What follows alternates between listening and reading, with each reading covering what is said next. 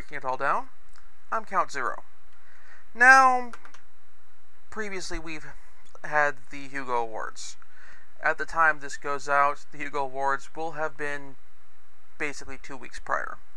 And the book that won Best Novel was Connie Willis's Blackout and All Clear, which I previously reviewed and I stated in short that I didn't like. And uh, there are plenty of other titles that are nominated that are very good, aside from just the earlier reviewed The Dervish House. This week, I'm going to take a look at another one of these books that was that was nominated, but unfortunately didn't quite win it. And that book is The Hundred Thousand Kingdoms by N.K. Jemisin, and which not only was the uh, and which was not only nominated for the Hugo Award for Best Novel, but is also the author's first novel. Before I get into this review, though, I want to talk a little bit about the difference between fantasy and science fiction. Now, the fantasy genre as a whole is one of them, as a whole, is one of those things that is just kind of tricky to nail down. To use a really bad analogy, it's a bit like obscenity. You know it when you see it. As my general rule of thumb, here's how I describe fantasy. Fantasy stories are ones which are set in either another world or a world that is basically past Earth or previous Earth. The in this fantasy setting, there it needs to have some sort of medieval technological level, medieval or further back, so that it's basically, in other words, you're dealing with people using swords, axes, uh, edge weapons, that sort of thing, and technology as we know it does not necessarily exist. It may exist through the form of some of magic or something like that. And that's the other important thing to separate fantasy from science fiction or other similar works. You need to have the presence of magic. Some force which doesn't follow the laws of physics as we know it. Something where if it were it does have to operate on rules, but the rules are so different from anything we know as far as physics and the basically all the natural laws that it's basically its own force of its own, its own uh, rules of its own. Now, what these rules are for magic depends on the type of story, and basically these rules vary depending on the dramatic requirements of the settings. I want to give you a few examples on this, um, as far as what types of narrative settings require what types of rules for magic.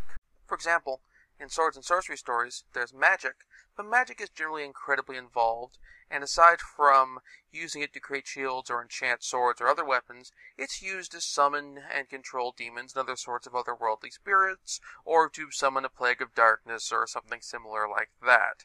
These rituals tend to be involved and dramatic, and usually if something goes wrong, then bad things happen these rituals may also, if done by an evil, well, also tend to involve evil sorcerers and may involve a the sacrifice of some maiden who will need to be rescued by our sword-wielding hero. There will be exceptions made to this magic for scrying pools and crystal balls, um, allowing the sorcerer to see far places and communicate with people at long distances. Again, this is dramatic. This allows the villain to get advance notice of our hero's plans and thus put something else in our hero's way. It also allows the villain to communicate with our heroes and mock them at a distance, um, providing the dramatic image of the villain's face floating in midair, taunting our heroes. Um, heroic fantasy stories are more close to your Lord, standard Lord of the Rings fare. So if you've, if you've seen or read Lord of the Lord of the Rings, if you've watched Record of Lodoss War, if you've read Terry Brooks, you'll know exactly what you're getting into with heroic fantasy. To a certain degree, when it comes to fantasy, this is what we think about. Mythic fantasy stories are ones where the gods are much more involved in human affairs.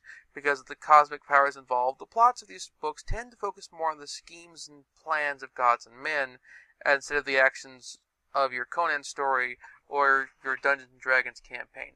Not always, um, you could argue that Clash of the Titans is more of a mythic fantasy story because of the heavy involvement of the gods in the storyline, but that's a bit of another matter. Finally, we get to the exceptions to the rules. As, I mean, frankly, when it comes to having rules, half the fun is breaking them and playing with the rules. For example, oftentimes a swords and sorcery storyline can be done in a post-apocalyptic setting, where magic has returned and the and this has changed the balance of power. Perhaps even that magic has completely eclipsed the use of science, um, or even that that science has been lost as a common knowledge, and thus the magic in the setting is more along the lines of sufficiently advanced technology. Some classic examples of this from literature and popular culture is Jack Vance's Dying Earth series, Gene Wolfe's Book of the New Sun series, and yes, even Thundarr the Barbarian. Alternatively, the setting could turn out to be some sort of spacecraft or space station or slow colony, slow boat style colony ship, like with the early Might and Magic games, as well as the anime series Scrapped Princess. So, this brings me to this week's book. While this book was nominated for a Hugo Award for Best Novel, I would really define this book as being more of a mythic fantasy book novel. Magic is powerful, plentiful, and and ranges in its use from the very mundane to the absurdly dramatic levels of, of what it can do, the flashy and destructive. And also setting the also the story, the gods of the setting are integral to the book's plot. Now, as I mentioned, as you probably noticed earlier when I held up the book, I went with the audiobook on this one. Often with fantasy settings, there are some weird pronunciations and stuff, and totally different from the different pronunciations and special pronunciations of names from the Dervish House, oftentimes presenting with languages which simply don't exist in the real world. So I went with the audiobook on this because I wanted to try and get the names somewhat correct. So, the book follows Yeine Darr, whose, mo- whose mother was part of the royal Arameri family before she basically went and married a commoner and left the household. Now, shortly soon before the book had begun, um, Yeine's mother had died under suspicious circumstances, and then Yene received a summons to the capital city of Sky, where she is told that she is one of three heirs to the throne. The other two heirs are her cousins, and Yeine basically has to subscribe, has to survive and get through all the various court intrigues to to get the throne, or even just survive the process. And as part of this, there's as a wild card in this whole thing is the matter of the Enefadeh.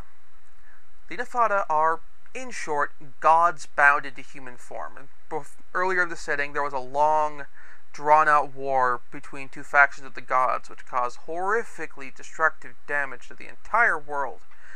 And basically, the Enefadeh are the gods who lost. And as punishment for their misdeeds, they are bound in human flesh.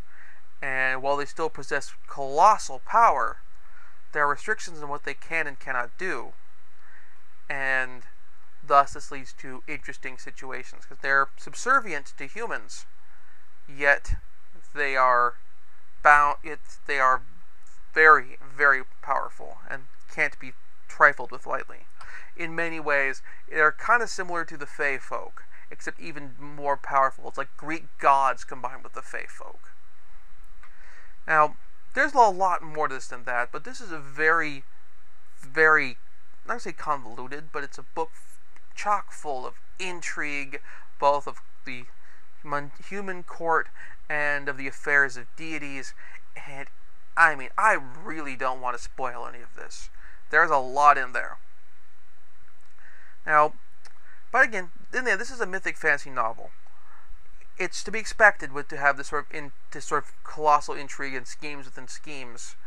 I mean, if you look at even something as simple as classic work of mythology like the Iliad, the majority of the book's plot is taken up with the schemes of the gods against each other, of gods who've allied with one group of mortals and gods who've allied with another group of mortals, and whether or not to become personally involved in the goings on because of the destructive side effects that could happen if they do get involved, and all this other sorts of stuff.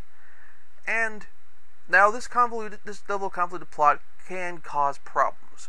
It can get this lead to Deus ex machinas. It can lead to the writer just pulling stuff out of various portion orifices of their anatomy because they need something to get to do, just because they need to have something happen and not thinking things through. But fortunately, everything here makes sense. Everything here meshes. Everyone's motivations fit. It's not quite like Dune, where we have a 30 Xanatos pile up to a degree that every time you reread the book or re-listen to the audiobook, you pick up something you didn't notice the first time. But that's fine. I mean, for the first go of a writer, for their first published novel, this is still really good I mean, to have this level of intrigue and machinations among the characters and have everything make sense is extraordinarily impressive. I mean, I'm not expecting you to, for all writers of this type of works to bust out the giant Gordian knot of conspiracy, but if you're going to do it, getting it right is hard. And so if you do get it right, more power to you. Now, I do have one complaint about this book, and that's related to sense of place. This is something which I've brought up a lot with fantasy, other works in general, is having a sense of where we are, not just geography of the location, but what this place I'm at in the book looks like. Is it goth? Does it look like a gothic cathedral? Does it look like a space station? That that sort of thing. For the city of Sky, we did a fairly decent job of this, of setting up idea of what the of what the town, not even town, what the, this gigantic sprawling city looks like and feels like. However, I guess my main complaint is we see a lot of sky. We don't see a lot of anywhere else. Um, in particular, I mean, Yen's homeland is uh, described as being basically northern barbarians. But what does that really mean? Is this are are they is the north a very cold area? Is it like Scandinavia where everyone's wearing furs? And does it have like Nordic architecture? Is this perhaps more northern north compared to say oh Alexandria, Egypt, but still a temperate climate? Are we talking Greece? Are we talking France or Germany? Is, or even for that matter, are this north in comparison to South Africa? Is the society that Yen's culture comes from, would it be compared to the cities of North Africa? With the city of Sky be and the city base built around it and the society there being comparable to Southern Africa, the Zulu. It's, I mean, it, there's dramatic differences. I mean, every planet has a north, and everywhere is north in relation to someone else, pretty much. More or less. When, when you hit the poles, you hard to get further north than that, but my point still stands. It's we don't get an explanation of this.